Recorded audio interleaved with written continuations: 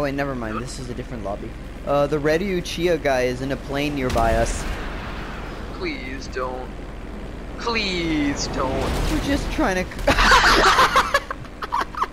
oh my god.